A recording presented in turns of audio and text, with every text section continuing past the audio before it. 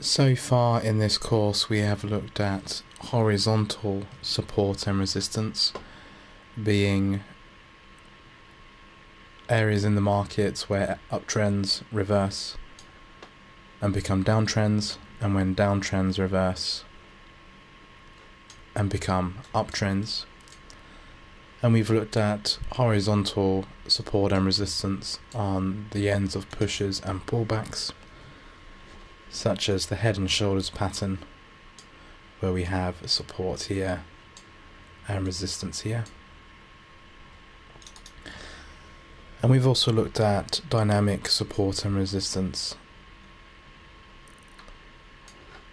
That is support or resistance formed by a moving average when price reaches a moving average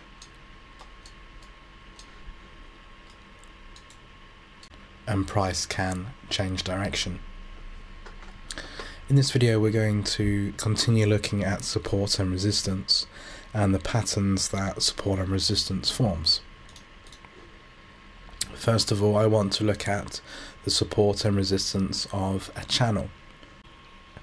A channel is a form of support and resistance that is generally created on a trend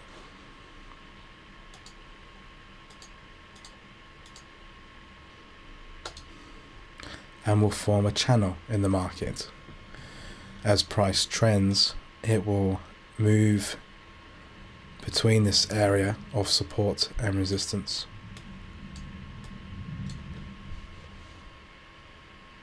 And will look similar to something like this. To demonstrate this, let's look at this uptrend in June. Once again, this is the pound against the dollar and it's a four hourly chart. If we were to look at this trend and identify the pushes and the pullbacks of the trend,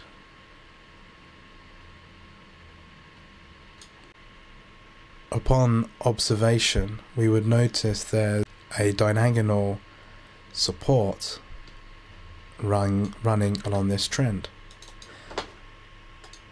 If we draw a trend line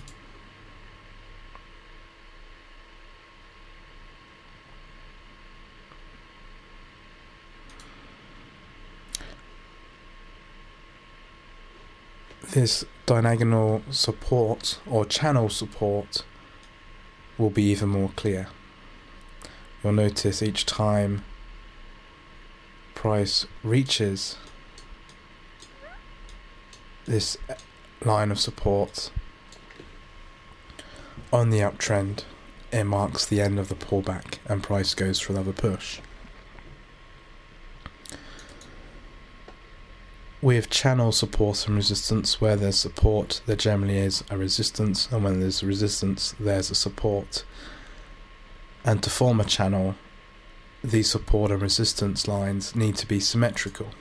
So if we duplicate our support line, we can place it as a resistance and form a channel.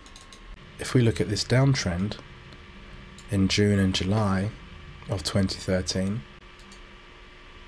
we can do something very similar.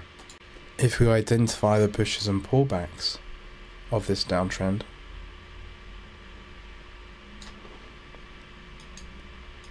we can use these areas to draw a line of support in the market.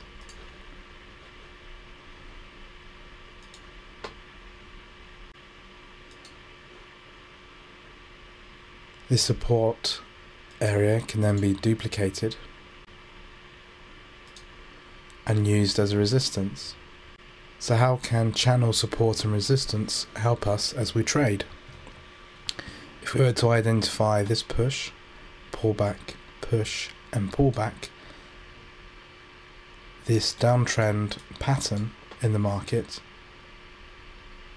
we could draw a support line connecting this bottom and this bottom which would create this line here. With that line in place, when price then falls and the trend continues, We could use this as a signal to close a position. You'll notice the line is rejected here and here and soon after goes for a pullback.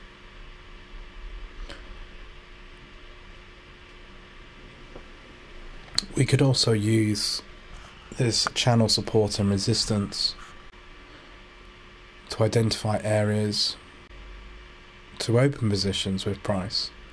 Once again, if price was downtrending and we had marked these two areas as the ends of pushes and created a line, when we had duplicated that line and put it against the previous pullback we could have used this area here to open a position and go short. And you'll notice the amount of engulfing candles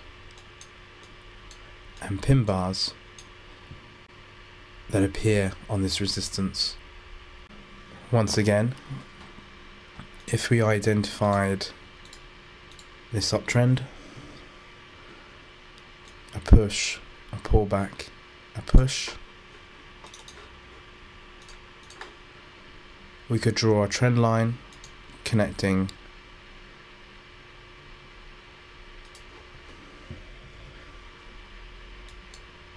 the ends of these pullbacks and that would give us a support line for the rest of the trend.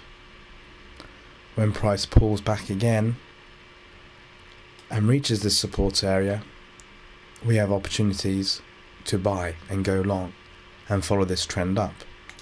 You'll notice there are pin bars and engulfing candles on this support line. This support can be duplicated and can act as resistance